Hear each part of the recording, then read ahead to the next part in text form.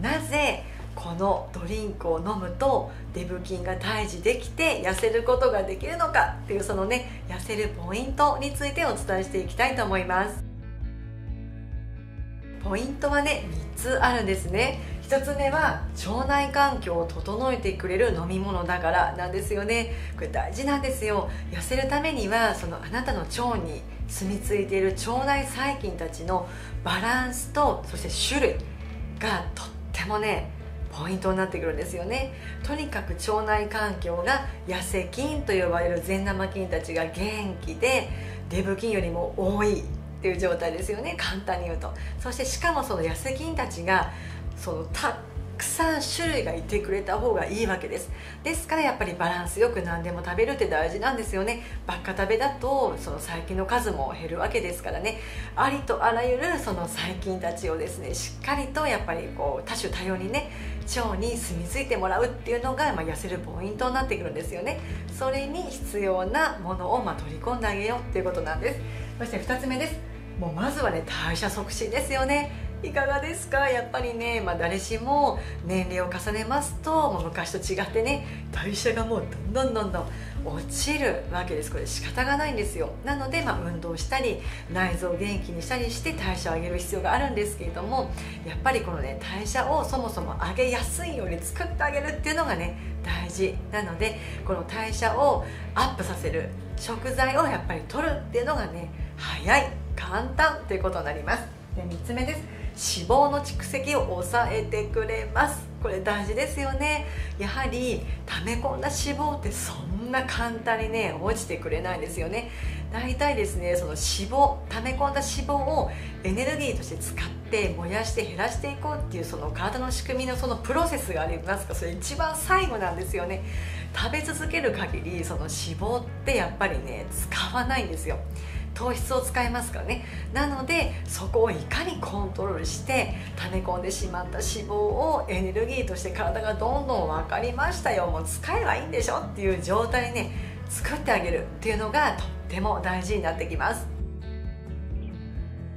2つ目です。何を使うとそのように痩せ効果をアップさせることができるんでしょうか？ということでそのねドリンクを作るための材料が持つ痩せるそのポイントですね。お伝えしていきたいと思います。まず今回ねりんごを使います。りんごってねすごいですフルーツの中でもあの本当りんごをね1個食べたら1社いらずなんていうぐらいりんごってすごいいろんなパワーあるんですけども、まあ、健康にも良いですしダイエット向きのフルーツになります。でまずねポリフェノールが豊富なので脂肪の蓄積をまずりんごが抑えてくれるんですよね。でまたペクチンが豊富なので便秘改善。これも大事ですよ。あの毎日ねあのお通じがある方も結構ね腸にまだ残ってるっていう方がいらっしゃってそれやっぱり便秘なんですよね。しっかり残さないぐらいこうスカッとね出るのが大事です。その時にこのペクチンってすごくね便を柔らかくしてくれる効果もありますし、まあ、とにかくスムーズにね出してもらいましょうということ。そしてカリウムが豊富なのでむくみ改善効果もありますから見た目もキュッとね絞っていきたいなと思いますしまた何よりもですね結構フルーツってお体をね冷やす効果がすごく高いんですよね。特にあの南国系のフルーツ。パイナップルとかバナナとか要はこう暖かい地方で取れるフルーツっていうのはやはり体を冷やすねものなんですよ。もうその地産地消ですよね。その場の、まあ、適した食べ物ができてるわけです。なのでやっぱりその食べ過ぎてしまいますと、まあ、フルーツって果糖もすごいですし体が冷えるっていうことでやっぱり適量じゃないと逆に太ってしまうんですよね。ただこのりんごっていうのはフルーツの中でも実はお体を温めてくれる効果があるフルーツですからここはね安心して召し上がっていただきたいなと思います。はいそして材料2つ目はですね生姜も使います。でこの生姜もですね先ほどのりんごと一緒でもう体を温めるっていうのがすごくねやはり強いものですよね。なので、まあ、脂肪燃焼効果があったり血糖値の急上昇要は太るもと糖質のね取った時に血糖値が急上昇してその間脂肪を溜め込むわけですからそこをしっかりなんとかね抑えてくれる効果を得ることができる。でまたプラスりんごと一緒でお体も温めてくれますしその結果デトックス効果もどんどんねもう汗もかいて余計な老廃物が汗から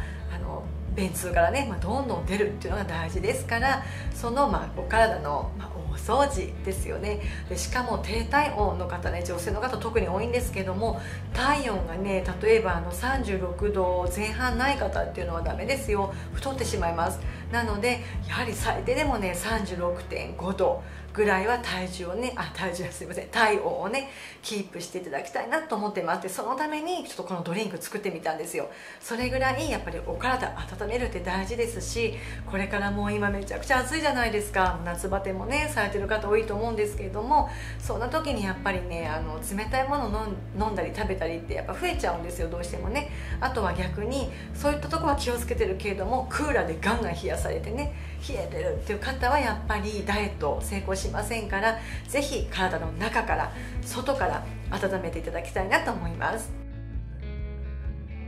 ではいよいよ3つ目の項目です。どのようにその痩せるドリンク作ればいいんでしょうか？ということで材料と作り方レシピですね。お伝えして終わりたいと思います。まず材料1杯分ですね、まあ、1人分です。で今回使ったのは無添加のりんごジュースを 200ml でこの無添加が大事ですよ。例えばあの余計なお砂糖とか香料とか、まあ、いろんなブレンドしたもう本当にあの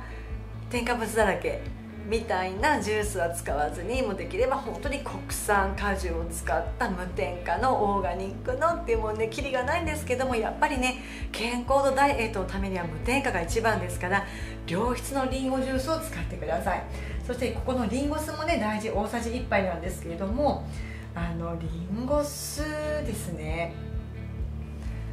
ダイエット効果が一番高いお酢なんですよ。なぜかというと酢酸が多いので腸がね元気に動いてくれるもうほんと素晴らしいねお酢になりますからここも無添加の原材料がリンゴ酢100あのリンゴ果汁が100%のみで使ってあるリンゴ酢を選んでくださいね。そしてすりおろし生姜ですね。これ1かけ分です。でちょっとねあのよくチューブタイプとかもあると思うんですけどもやっぱああいったのはねどうしても保存するために余計な保存料とか添加物入ってますからやっぱりしっかりすりおろした生姜をここで使っていただくかもしくはそれがやっぱりねいちいちすったら大変じゃないですか。分かります？そういう時はね生姜パウダー。生姜100%できたパウダーでもいいと思うのでその辺りもお好みでね使ってみてくださいね。ではここから作り方です。1つ目です。グラスをご準備ください。そこにリンゴ酢と無添加のリンゴジュースとすりおろし生姜を入れてとにかくねよく混ぜてください。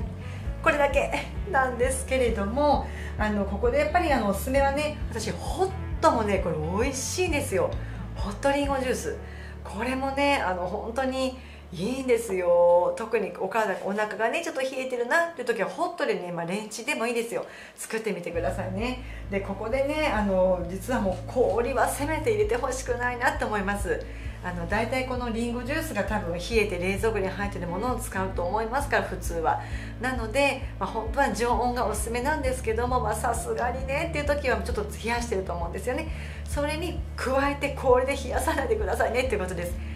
ですよね。冷やすと腸が冷えて代謝が落ちて太りますよ。このサイクルにね入ってしまわないようにね是非気をつけてくださいね。はいそして最後に注意点なんですけども今回そのリンゴ酢ジュースあすみませんリンゴジュースをね使う関係でやっぱりね果糖が入ってます。で果糖っていうのはあの脂肪をやっぱりね増やしてしまう糖類の中のまあ糖なんですよね。でこれが直ちにその肝臓に送られてしまう結果吸収されて中性脂肪へとね変わりやすいのがやっぱり果糖なんです。なのでフルーツってまあ酵素もたっぷりですしいろんなビタミンとかミネラルとかもいろんなねダイエット効果はあるんですけれどもやっぱり飲みすぎてしまうとこの果糖を取りすぎということになってしまいますからダイエット向けではなくなってくるんですよね。ですから先ほどお伝えしたこのあのリンゴのねあの生姜のドリンクはですねやっぱり1日1杯程度に収めていただけますと痩せ効果が得ることができますので飲みすぎにはね注意してあげてくださいね。さあいかがだったでしょうか？今回は痩せるリンゴ酢を使ったしかもポッカポカ頭温まるねドリンクをお伝えしました。しかもあの夏バテ効果にも有効ですのでぜひね今もう疲れてるなもう私頑張ってるもんという方はですねぜひこのドリンクで元気になってしかも健康的で綺麗に痩せていただきたいなと思ってご準備しました。お役立ていただけましたらとっても嬉しいです。それでは最後までご視聴していただきましてありがとうございました。